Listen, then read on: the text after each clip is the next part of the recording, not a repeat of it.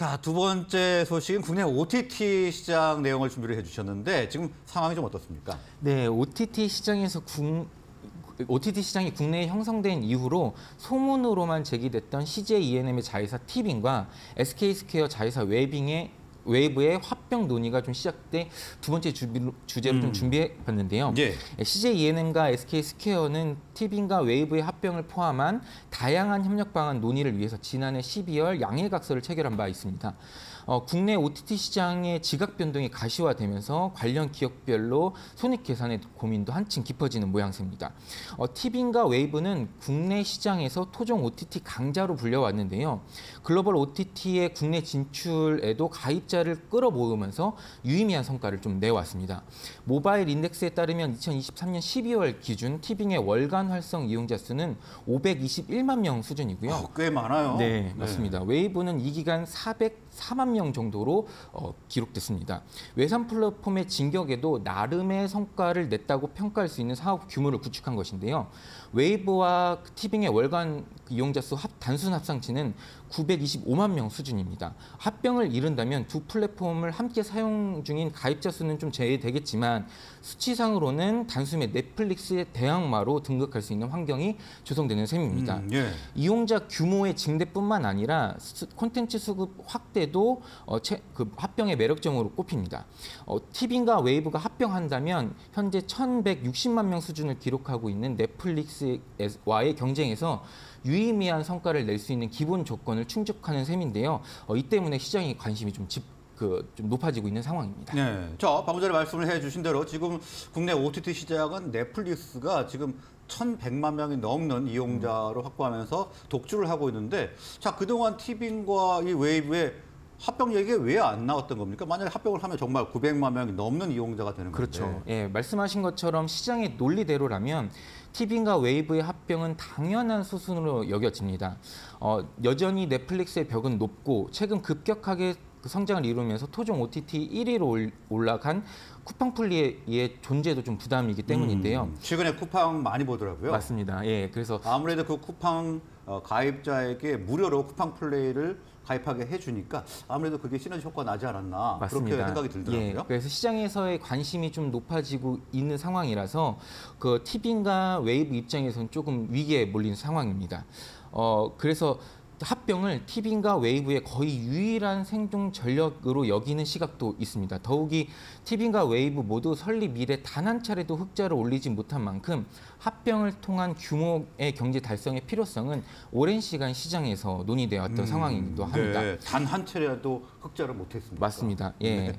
그러니까 이런 점만 두고 본다면 보다 빨리 합병 논의가 이루어졌어야 하지만 실상을 뜯어보면 좀 그 해결해야 될 과제가 산- 산적한데요. 두 기업의 주주 구성의 복잡성이 대표적입니다. 음, 예. 티빙과 웨이브를 차치하더라도 무려 8개 기업이 합병 의사결정에 직접적으로 참여할 수 있는 구조인데요. 티빙의 일대 주주는 지분 48.85%를 보유한 CJ ENM입니다. 이 외에도 KT 스튜디오 지니와 SL, SLL과 네이버가 주요 주주로 올라 있는 상황입니다. 네이버도 있네요. 네, 그렇습니다. 그 웨이브의 경우에는 40.5%의 지분을 들고 있는 SK 스퀘어가 그 최대 주주에 올라 있고 KBS, SBS, MBC 등 지상파 3사가 각각 19.8%의 지분을 보유하고 있는 구조입니다. 이들 기업이 단순히 지분을 보유하고 있지 않다는 점도 합병을 어렵게 만드는 요인으로 꼽히는데요. 어, CJ ENM과 SLL 그리고 KT 스튜디오는 티빙에 그리고 지상파 3사는 웨이브의 콘텐츠를 주로 공급하면서 별도의 수익을 창출하는 고 있습니다. 음, 네. 티빙과 웨이브가 합병을 한다면 지분 조정은 물론 각 기업의 역할 분배까지 진통 요소가 곳곳인 셈인데요. 이런 구조가 그간 합병 논의를 좀 지지부진하게 만든 요인으로 꼽힙니다. 네, 자 여덟 개의 기업 정말 많은데요. 이러니까 좀 어, 합병에 어려움이 있었을 텐데, 근데 지금 나오는 이유는 뭡니까? 예, 그 이 지점도 시장에서 다양한 해석이 있는데요. 티빙과 웨이브의 합병은 그동안 시장에서 SK 스퀘어의 바람으로 여겨져 왔습니다. SK 스퀘어가 2019년 2천억 원 규모의 전환 사채를 발행할 때 5년 이내 상장을 조건으로 내걸었기 때문인데요. 그러니까 2024년 11월에 상장이 불발된다면 투자 원금의 연복리 3.8%를 더해서 돌려줘야 하는 구조인 것이죠. 아, 네. 예, 적자가 기, 지속됐던 웨이브가 2천억 원이 넘는 전환사채를 상환하면 생존이 위- 어려워질 수도 있는 있는 셈입니다. SK 스퀘어가 이 같은 상황을 타개할 방안으로 티빙 합병을 주목하고 있다라는 신호는 2023년 초부터 지속적으로 관측되기도 했습니다. 아, 그런데 문제는 CJ ENM이 티빙과 웨이브의 합병에 미온적 태도를 유지해 왔다는 점인데요. 어, 티빙 입장에선 경쟁사인 웨이브가 전환사채 상환으로 유동성이 악화된다면 경쟁력을 상실하고 티빙 입장에선 시장 주도권을 확보하기 위해 유리하기 때문입니다. 근데 굳이 합병을 뭐하러 할까 싶네요. 맞습니다. 네. 그래서 시장에선 이번 SK 스퀘어와 협약을 맺은 CJ ENM의 입장 전환을 두고 다양한 해석을 노놓- 내놓고 있습니다. 음, 네.